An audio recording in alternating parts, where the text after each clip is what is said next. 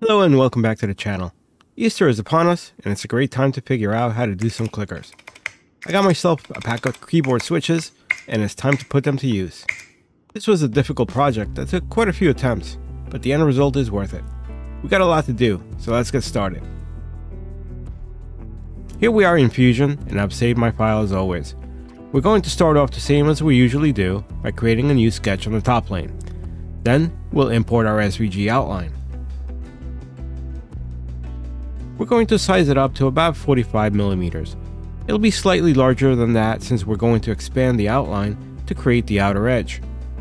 Once we're satisfied with the size, let's click OK. You can see the SVG brought along some parts of the hearts which are outside the egg's edge.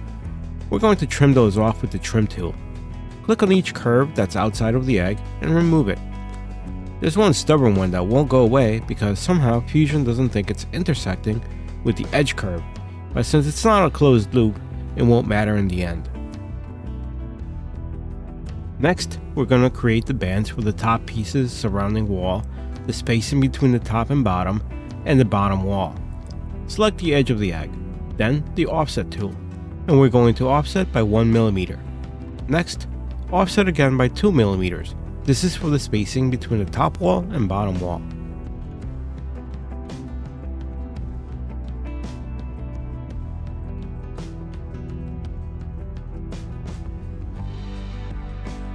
Now, it was during this next offset that I encountered an issue. I could not offset to the 3.5 millimeters that I wanted because Fusion refused to make the offset a part of the sketch. The most I could offset was 3.15, so that's what I went with.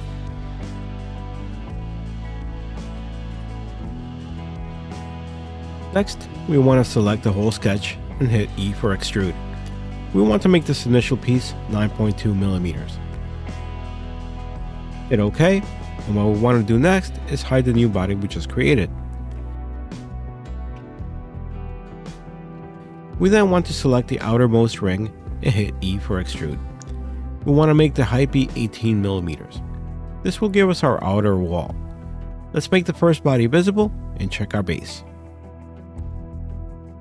Looks good so far. Now it's time to move on to the top piece. Before moving on, Let's tidy up here and rename our two bodies so that we're able to refer to them later. This will let us turn bodies on and off quickly to be able to do the next steps. Let's go ahead and hide those bodies so it's easier for us to see what we're doing.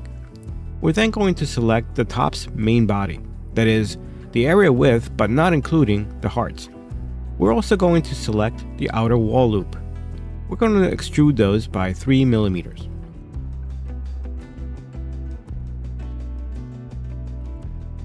We can then hide that new body and begin selecting our hearts. We're also going to be extruding these by 3 millimeters.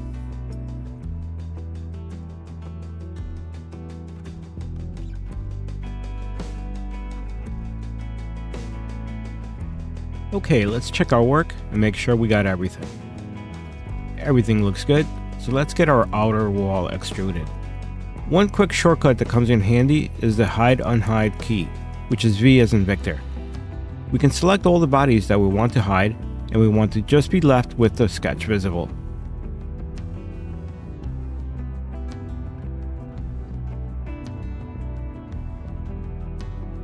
Now let's select the top half's wall loop. That's the inside one. We're going to extrude the wall to 8 millimeters.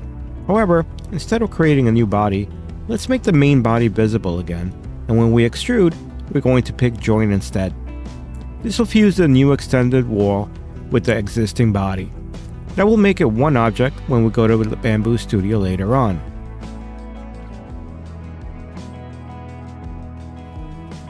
Let's check everything to make sure it's what we need, and go ahead and rename our top body piece so we know which one it is on the list.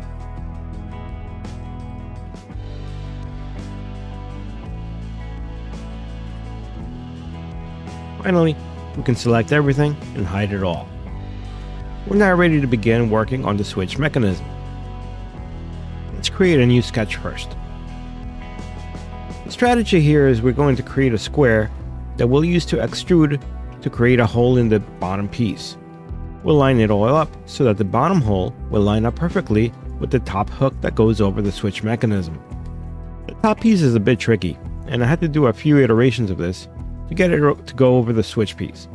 And to be perfectly honest, I would make a couple of changes to this in the future, but they work okay for the switches I have now. We'll start off by creating a two-point rectangle, 14mm by 14mm. And here's a cool trick I learned just recently. If you don't use the point rectangle, you can create a line between two points like I'm doing here with the square.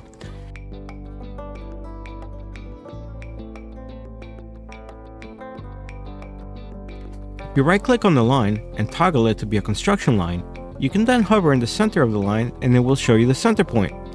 We can go ahead and add a point there now, which we can then use as our center point anytime we want to center another object to this square. Pretty nifty, huh?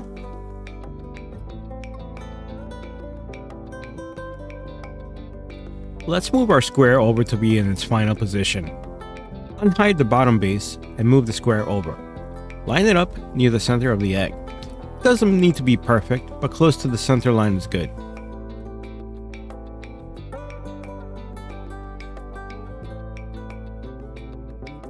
We're then going to hide the bodies again and extrude our square. We want it to be 9mm high.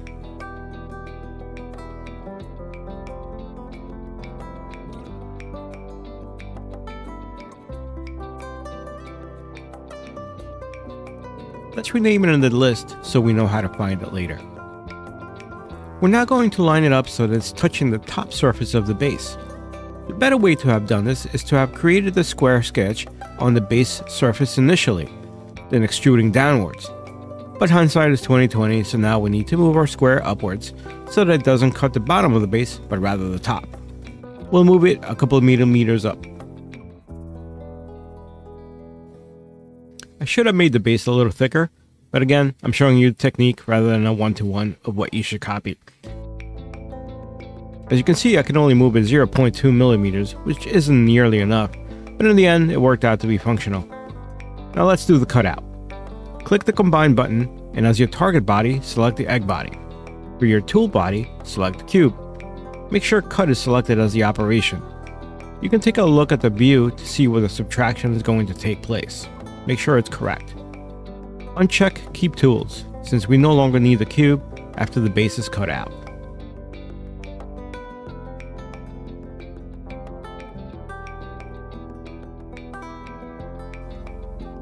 After clicking OK, you can check out the base as a whole, as it's now been completed. Now we need to work on the top piece, the part that will hook onto the keyboard switch mechanism, the little piece that looks like a plus sign. To do that, we're going to create our own plus sign, surrounded by a square, then extrude the inside parts, creating a sort of hedge maze piece that will latch onto the switch.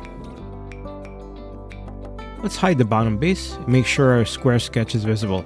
We need to line up our plus sign enclosure with this square to make sure the top and bottom egg pieces align so that the switch bottom and switch top match up.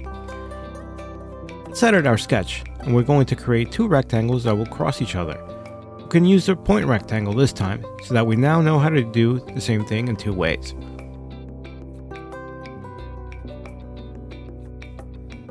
Our rectangles will be 1.4 by 4.4 and 4.4 by 1.4.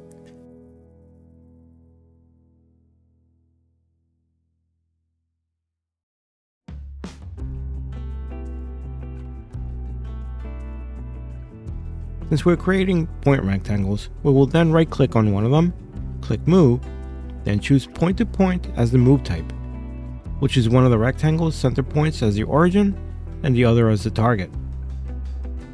Then just select it, and just like that, they're centered together.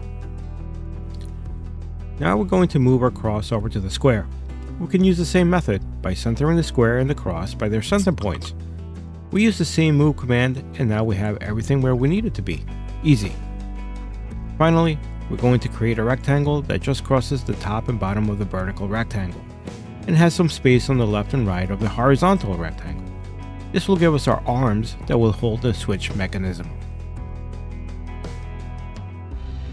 Last but not least, we can select the little claws we just created and extrude them. We'll make the top body visible so we can see where we're working and extrude the claws by 8mm. Let's turn on all the top bodies visible again and check our work. Everything's been taken care of and it all looks correct. Not much else to do here except to export each piece separately.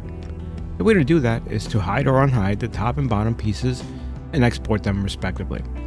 After that, we're ready to head into Bambu Studio and get our colors assigned.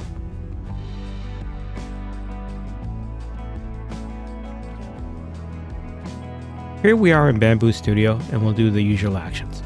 Let's import our two STLs and begin assigning colors.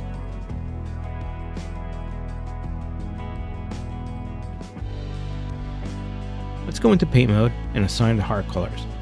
Make sure you're in the paint bucket and edge detection is on. Then choose the color you want and click on the inside of each element.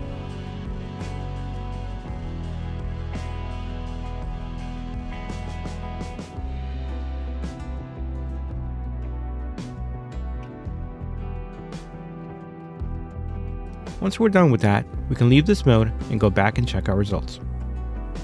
After this, there's one change I want to make. I want to change the order of the filaments that are printed. I want to print the hearts first so I can get the most detail out of the print. This way, the surrounding color is printed after the initial heart filament is laid down. That prevents the hearts from having to be laid inside the spacing left from the surrounding area. The way you get to that menu is by going to the settings icon on the plate. Why it's there, I have no idea. Seems like the worst place to have that setting. It should be by the filaments in the left pane. Anyway, you can drag the colors to rearrange them here.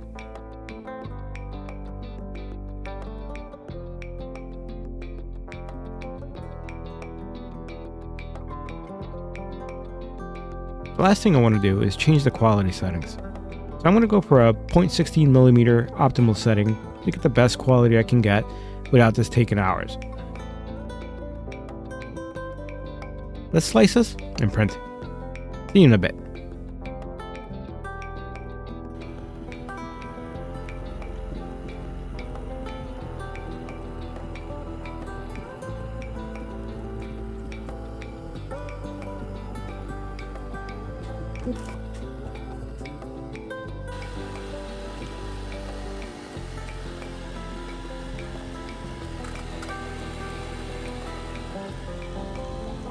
And here we have our final results.